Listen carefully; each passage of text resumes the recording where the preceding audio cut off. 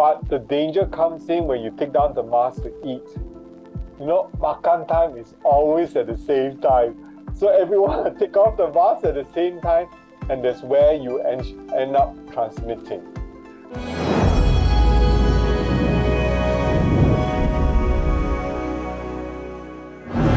Halo sahabat semuanya, welcome to Bincang-Bincang.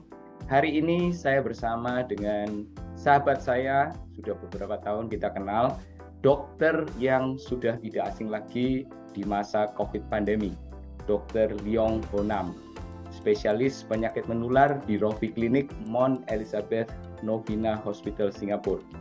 Banyak sekali peraturan-peraturan di masa pandemi yang sudah tidak diberlakukan lagi Misalnya dulu kita harus pakai masker ke mana-mana, sekarang di Singapura dan di banyak negara lain kita tidak diharuskan memakai masker termasuk di dalam ruangan. Singapore Airlines sudah tidak mengharuskan penumpang memakai masker di pesawat sejak 29 Agustus 2022 minggu lalu. Apakah benar aman tidak memakai masker di pesawat? kita tanyakan langsung pada ahlinya. Sebelumnya, perkenalkan saya Dr. Tony Budi, spesialis bedah tulang di Mount Elizabeth Hospital Singapura. Jangan lupa subscribe dan aktifkan lonceng notifikasinya. Saya akan bagikan banyak informasi kesehatan yang berguna bagi Anda semuanya. Dr. Leong, thank you so much for your time today. I know you are very busy, but is it really safe uh, not wearing a mask on a plane? What is your advice on this? Tony, thank you very much for having me on your channel. It is a great pleasure. I look at your channel, I look at your subscribers. I tell you, Tony is the best. Okay, so your question is should we or should we not wear a mask on board the plane? The answer is I would. It really depends on what you want to do.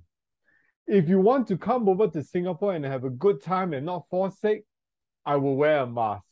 Yeah. But if you are prepared to fall sick in Singapore, then don't wear a mask. So I, I'm going to travel soon.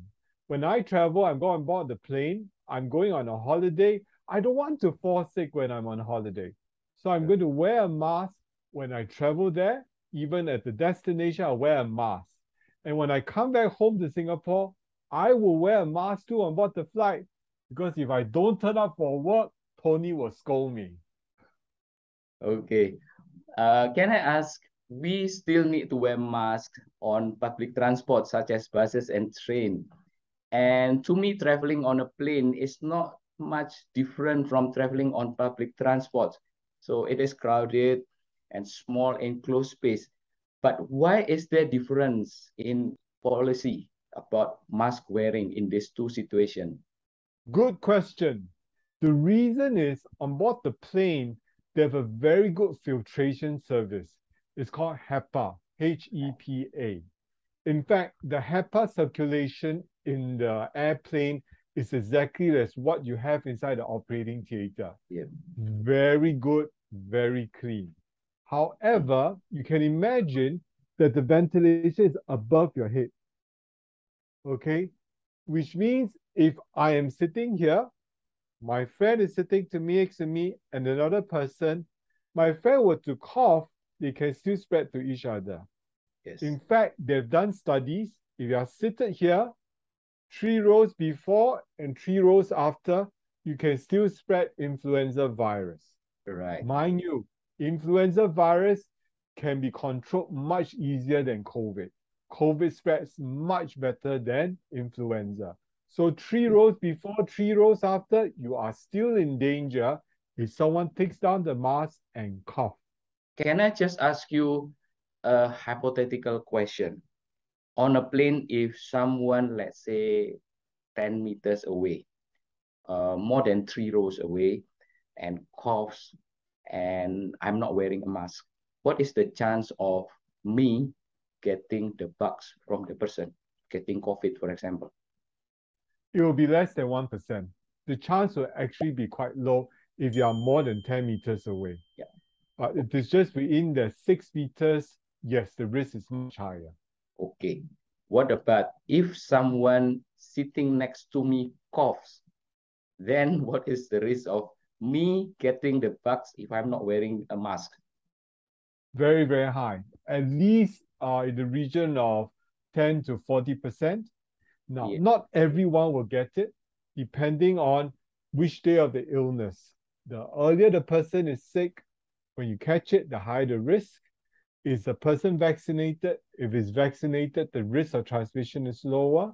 If the person's immunity is goya, then the transmission is higher. Okay. Same thing for yourself if you're vaccinated or how strong you are and you determine the risk. So your advice is still wear a mask on the plane even if we are not required to.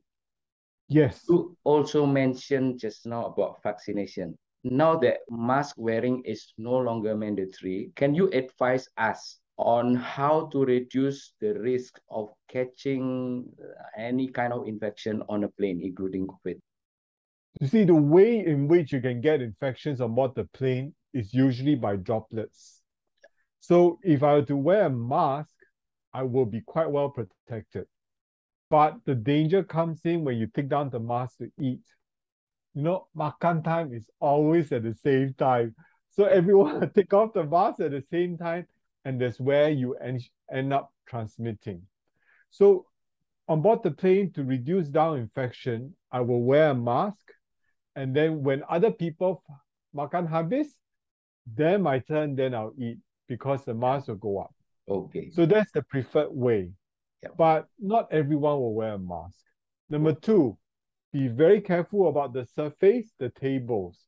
So when I bought the plane, I'll get an alcohol for the on a piece of wet wipes. The moment I sit down, I'll clean the table, etc. Then we'll make sure that my corner is clean. That will be for my seat. But there's one more place on board the plane where it's super dangerous, and we yeah. can talk about that later. Can you tell us what it is? It's the toilet. Yes. okay. Is there any difference wearing surgical mask, cloth mask, and N95 mask on the aeroplane? Okay, good question. The cloth mask is the worst because the standard and the quality is different, the kind of lining they have is different.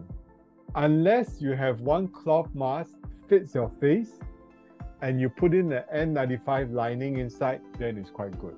But otherwise, forget the cloth mask. Number two, a surgical mask is quite good, but make sure you get the thick ones. Some of them are fly by night.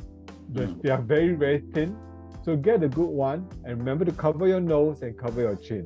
I like that very much. Yeah. The best will be an N95. There's also a KN94 and KN95. I like the KN series ones better because they are more comfortable. It's easier to wear. The N95 one is just very, very uncomfortable. And after about 15 minutes, 30 minutes, you want to take it down to breathe. Yeah. So my first choice will be the KN9495, followed by N95, followed by a surgical mask, and the last is actually a cloth mask. From talking to you today, my conclusion is we need to get ourselves vaccinated.